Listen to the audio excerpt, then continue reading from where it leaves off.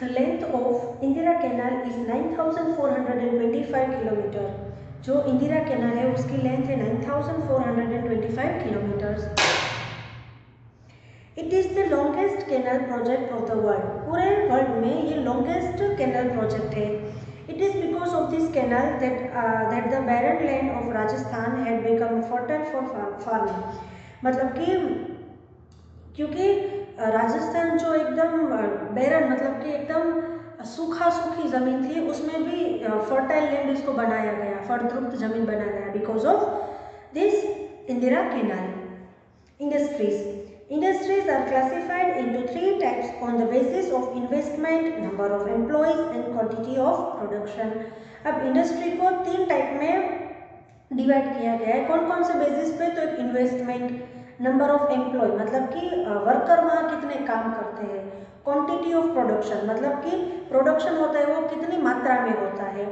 First है cottage industry when people make things at home in which the investment is very low, like incense stick, papad furniture pickle etcetera is called cottage industry cottage industry मतलब क्या होता है कि जो लोग होते हैं वो घर पे ही ये काम करते हैं जिसका इन्वेस्टमेंट बहुत ही लो होता है, उसे हम कॉटेज इंडस्ट्री कहेंगे। फॉर एग्जांपल अगरबत्ती है, पापड़ बनाना है, पापड़ तो ऑब्वियसली घर पे ही बनाते हैं। फर्नीचर है, फिर आचार है, पिकल पिकल यानी कि आचार तो ऐसी चीज़ें जो घर पे बनाते हैं, उसे हम कॉटेज इंडस्ट्री कहेंगे, जिसमें इन्वेस्टमेंट भी बहुत कम हो।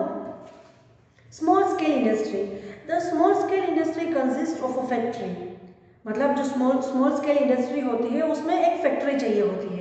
सब मशीनरी कुछ मशीनरी चाहिए होती है, कुछ वर्कर्स चाहिए होते हैं and in the invest in which investment is more than cottage industry और उसमें इन्वेस्टमेंट भी कॉटेज इंडस्ट्री से ज़्यादा होना चाहिए। In small scale industries toys TV refrigerator plastic items are made और स्मॉल स्केल इंडस्ट्री में टॉयज टीवी रेफ्रिजरेटर और प्लास्टिक की आइटम्स बनाई जाती है। हेवी इंडस्ट्रीज़ अब हेवी इंडस्ट्रीज़ में क्या होता है? Heavy industries are those industries in which big factories, big machinery and large number of workers work. अब heavy इंडस्ट्रीज़ में क्या होता है? बड़ी बड़ी फैक्ट्रीज होती है उसमें बड़े बड़े मशीन्स होते हैं। बहुत सारे वर्कर्स काम करने आते हैं तो वो heavy इंडस्ट्रीज़ होता है। इट रिक्वायर्स heavy इन्वेस्टमेंट और उसमें इन्वेस्टमेंट भी बहुत ही ज़्यादा चाहिए होता है। So it is called a heavy industry it includes iron and steel motor car cement etcetera cotton clothes industry what is required to make cotton cloth अब cotton cloth बनाने के लिए कौन कौन सी रिक्वायरमेंट चाहिए होती है? The cultivation of which crop leads to the development of the cotton cloth industry the cotton textile industry has developed in India and Ahmedabad Surat Mumbai and Coimbatore तो cotton textile industry है वो India में कहाँ कहाँ अहमदाबाद में, सूरत में, मुंबई में और कोयम्बतौर में हुई है। Woollen industry, This industry was started as a cottage industry and now it has developed into an important big industry.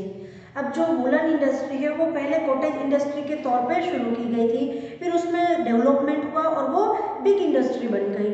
It has developed in Punjab वो पंजाब में डेवलप हुई। मेन सेंटर पंजाब में कौन सा था? लुधियाना था। फिर महाराष्ट्र में, फिर गुजरात में भी हुई हरियाणा में भी हुई? और गुजरात में उसका मेन सेंटर कौन सा था? जामनगर और Ahmedabad. Sugar industry. Which crops is required to prepare sugar sugar बनाने के लिए कौन कौन सी फ़सलें ज़रूरी होती है? Sugar cane sugar cane juice is required to make sugar sugar cane juice यानी कि जो गन्ने का जूस होता है, वो ज़रूरी होता है शुगर बनाने के लिए। Sugar industry is mainly developed in Uttar Pradesh Maharashtra Gujarat Andhra Pradesh Karnataka and Tamil Nadu तो ये सारे जो स्टेट है वो मेनली डेवलप्ड है शुगर के इंडस्ट्री में, ठीक है? Cement industry which minerals are required for cement industry cement industry के लिए कौन कौन से मिनरल रिक्वायर्ड होते हैं? Way where is cement use cement कहाँ कहाँ यूज़ की जाती है? In recent year the cement industry has rapidly developed in India कुछ ही, कुछ समय में मतलब हाल ही के कुछ सालों में सीमेंट इंडस्ट्री है वो एकदम जल्दी जल्दी से डेवलप हो रहा है। This the states like Gujarat Madhya Pradesh Bihar Andhra Pradesh Karnataka Tamil Nadu and Telangana etcetera are known is known for cement industry तो ये सारे स्टेट है, वो सीमेंट इंडस्ट्री के लिए जाने जाते हैं।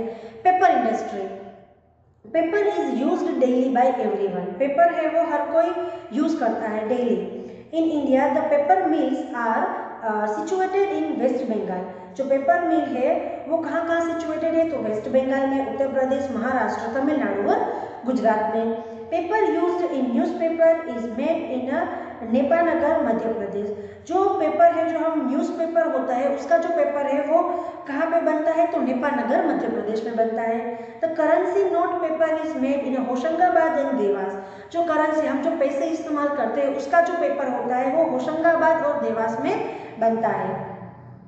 Iron steel industry from small mill to huge machinery and their spare parts, everything is made by the iron and steel industry छोटी से छोटी से छोटी, कील से लेके बड़ी से बड़ी मशीन और उसके स्पेयर पार्ट में किसका यूज़ होता है? तो आयरन और स्टील का यूज़ होता है।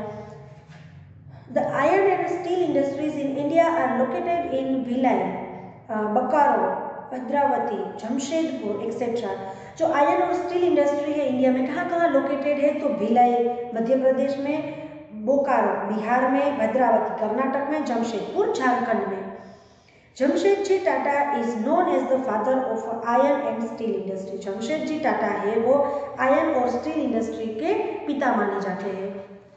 Jute industry jute cloth gunny bags jute bag etcetera are made from a jute fibre जो जूट के कपड़े होते हैं गनी बैग्स होते हैं जूट बैग होते हैं, वो किससे बनते हैं? जूट फाइबर से बनते हैं। Nowadays the demand for gunny bags and jute bag have अब हाल में क्या हो रहा है? आपके दिनों में गनी बैग्स और जूट की, जूट बैग की मांग है यानी कि डिमांड कम हो गई है। In its place bag made up from artificial fibres are in demand. अब उसकी जगह पे आर्टिफिशियल फाइबर